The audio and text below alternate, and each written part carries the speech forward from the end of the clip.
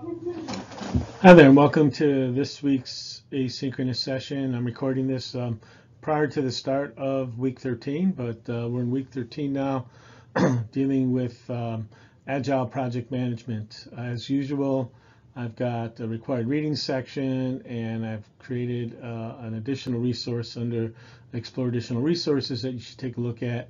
Uh, but other than that, it's another one of those informational weeks um, where this will be good and useful information to some of you as you um, look for other techniques uh, to managing projects beyond the the um, the critical path and critical chain methods you've learned all semester. So take a look at everything in this uh, section and we'll see you live in class uh, either this upcoming Monday or the following Monday depending on when you view this particular video. Thanks.